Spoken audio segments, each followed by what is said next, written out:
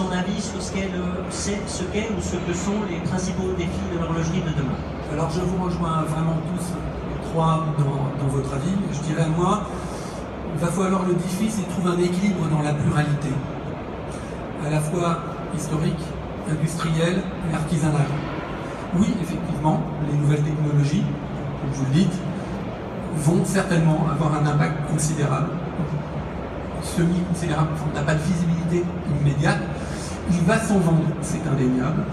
Qui elles vont toucher On n'en sait plus ou moins rien, mais ça devrait plutôt être le monde du quartz, puisque finalement, je dirais, cette troisième voie horlogère vient s'initier entre deux univers qui, il y a 30 ans, 40 ans en arrière, se sont combattus. Et on se retrouve confronté aujourd'hui à une troisième voie possible, qui risque d'ouvrir des nouveaux marchés, qui risque peut-être d'inciter les gens à porter des montres un futur proche, les gens qui n'en portaient pas, qui pourraient être amenés dans 5, 10 ans à porter des montres traditionnelles, parce que finalement, les gens qui il y a 40 ans portaient des montres à quartz portent aujourd'hui des montres plutôt mécaniques, donc j'ai plutôt bon espoir.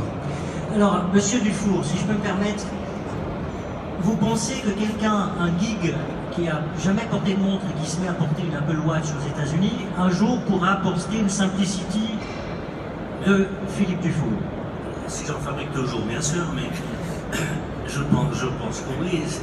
Ces, montres connectées, je dirais, auront l'avantage d'occuper des poignets qui ne sont pas occupés. Euh, moi, j'étais tout dernièrement au Japon et à Hong Japon, hein, je crois.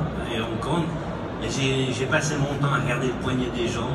il y a toute une catégorie de la jeunesse qui ne porte pas de montre.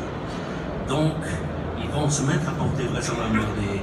Puisqu'ils ont un iPhone, il faudra une, une watch, d'accord Et ces gens-là, socialement, ils vont évoluer, et puis à un certain moment, à 29-30 ans, quand ils seront cadres d'une banque comme ça, ils se diront, j'en un peu marre de porter ces télévisions au bras, et ils vont partir, partir sur des produits de vrais produits, je dirais.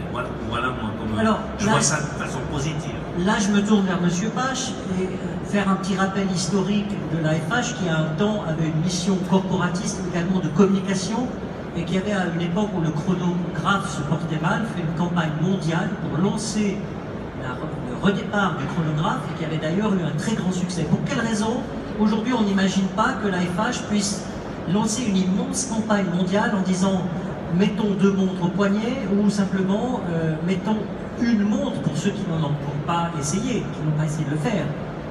J'aimerais d'abord dire que les nouveaux acteurs qui, arrivent sur ce marché, comme l'a dit M. Comtesse, ils veulent peut-être nos poignets. Ce qu'ils veulent surtout, c'est nos données, c'est nos informations, euh, de façon à pouvoir nous vendre des applications et d'autres euh, services électroniques.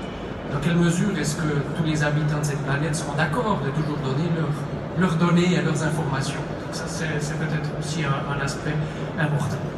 En, ce qui concerne une campagne, non, on ne fait pas des campagnes pour la montre suisse, ça, n'aurait pas d'effet.